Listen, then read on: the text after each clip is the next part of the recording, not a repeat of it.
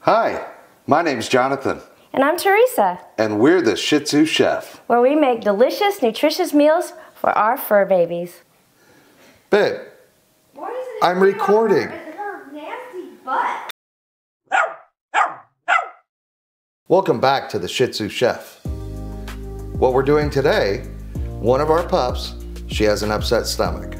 So what we're gonna do is we're gonna make her a nice, bland, easy meal that'll get all of her parts working right again. First thing we're gonna start with is rice. Now, rice, you think that's pretty simple. However, there's more to be said about rice. We're gonna start out with two cups of rice.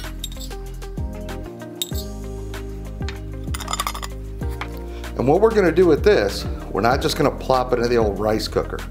We gotta wash this. Did you know that for every one quarter cup of cornmeal, now I know that's not rice, but I'm assuming the manufacturing process is pretty similar. But for every one quarter cup of cornmeal, the FDA allows up to one entire insect. That's acceptable. Again, wash your rice. Just to get that rice as clean as can be before we start cooking it and put it into our little fur babies' bodies. So one last strain and we're good to go. Because we're actually gonna take this rice, we're gonna put it into our rice cooker bowl. When you're cooking rice, there's some people that say one part rice, two cups water. There's a better way. And we're gonna start to fill up our rice cooker bowl with the water. And then we're gonna use our finger to the first digit. And when it reaches that first digit, and there we go. Perfect. That way you know you have enough water to cook your rice. Set her into the rice cooker, hit the button. We're gonna let that cook, and while that cooks, we're gonna start on our next step. Next, we're gonna be doing the sweet potatoes.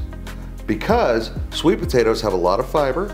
Now, I don't like to add too much sweet potato, but it's really good to help make everything operate correctly within the little girl. So first, we're gonna start out by getting the old plastic bag. And we're gonna put that right on our table here. Then we're gonna take out our first sweet potato and we're gonna skin it. And we're gonna just put it right, all the shavings right here into this bag. This is a lot easier than putting them down the garbage disposal and making that mistake. Been there, done that. And once you're done peeling, you just take your little bag that everybody has 800 million of. You just twist her on up, throw in the trash.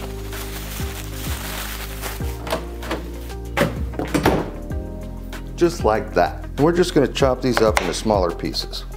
And that's just so that the food processor doesn't have to work so hard to chop them up.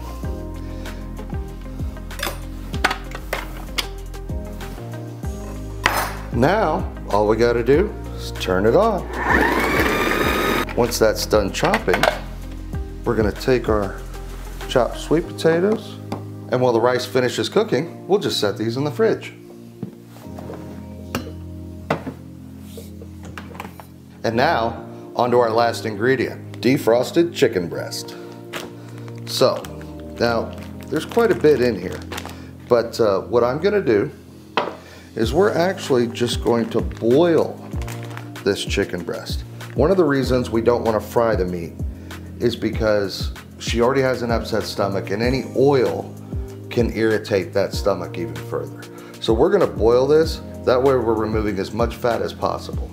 Now, one of the keys to boiling this is, and I've got three large chicken breasts in here. One of the keys to boiling this chicken is make sure the chicken is fully covered with water. When you put it on the, the heat, bring it to a boil, cover, let it simmer for about 12 minutes or until the internal temperature of the chicken has reached at least 165 degrees. That way you know it's cooked.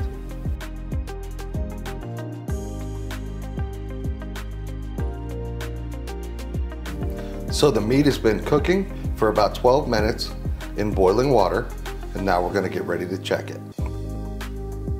Now we'll get out our meat sticker 3000. Let's see what that says. Well, we've reached about 160 degrees.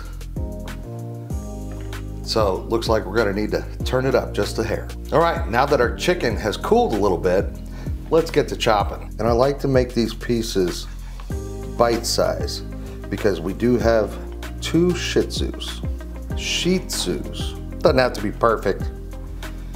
Based on how we're looking here, it looks like we're gonna do two chicken breasts today in this batch. Looks like there's a little tendon in there. We'll get rid of, oh, there's a bone. I ordered boneless chicken breasts. What we're gonna do is we're gonna get those sweet potatoes that we chopped earlier out of the fridge. And we're just gonna go ahead and dump those in here. So we're gonna go in for the rice.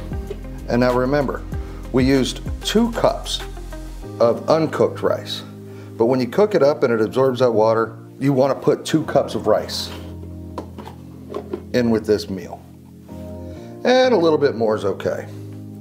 So once that's all in there, go ahead and close your rice because I'll be eating that later. Now that we've got our rice, sweet potatoes, chopped, and our diced chicken in our mixing bowl, we're gonna go ahead and add the old vitamins that the girls need. We're gonna start out with some flaxseed. So there's one teaspoon, two teaspoon, three teaspoon. And the next thing we're gonna add is calcium powder. Now, you can make this yourself. Uh, just use your eggshells, wash them, dry them, then put them in your coffee grinder or AKA magic bullet and grind them down to a fine powder.